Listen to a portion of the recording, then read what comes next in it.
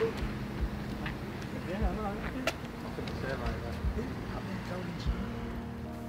hi, my name's Lee Keenan and I'm an addict. I ended up coming to this detox centre through inclusion. Um, I reached out to them due to my drug and alcohol struggles and that's what got me here. The preparation involved I had to do was um, I had to go to meetings at inclusion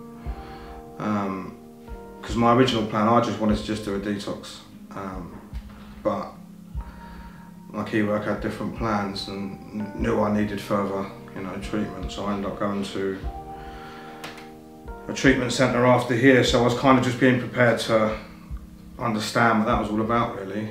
And yeah, they moved they moved me in pretty pretty fast because I was I was in a bad way. Before I come here, I was full of absolute fear anxious because I didn't know nothing about detox or treatments or anything. Um, I didn't want to come here, if I'm honest. I just I didn't think it was possible that I could anything could get me to stay clean or get clean. Um, yeah, I was really, really nervous before I come here. I remember. I was greeted beautifully when I come here. This place will always have a special place in my heart. They were, they were really, really good with me. I mean, I was, like I said, I come through that door full of fear. And yeah, now they put me at ease, to be honest, pretty much straight away it was nothing. My first impressions of this place was nothing like I, I expected. Um, it was just just calm and just I felt safe straight away. That's what that's, that's probably the word I'm looking for. Safe. The staff made me feel at ease, and I just I just knew I was in a good place. The medication that I took when I was here was was Librium, and um, it really did work for me. Um, the graduation of the detox from that, it was, it was, it was probably the hardest thing I've ever done, but um, I don't think I could have done it in a better place than here.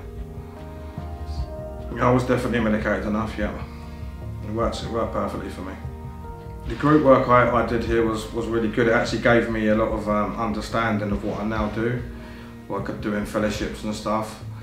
And it definitely helped me when I went into treatment because I remember some of the buzzwords that we didn't hear, so I understood it. I was like, oh, that's what that was all about. And yeah, it helped me a lot. Yeah, the food was lovely. The food here was was really good actually. Yeah, they do. Um, I remember it was twelve was lunch, and five was dinner. It was all cooked and it was beautiful. The food, yeah.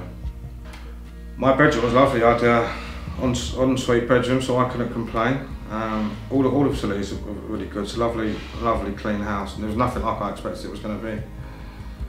My favourite thing about this unit was probably the staff. It was. I honestly didn't think I could get clean. Like generally didn't. You know, if you'd have seen me the day the day I arrived here, you'd never have thought I'd be here six months clean, and that's because of the because of the staff, all because of the staff.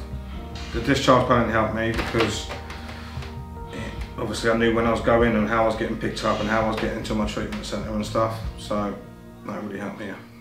I would recommend this service 100%. It's the best thing that ever happened to me.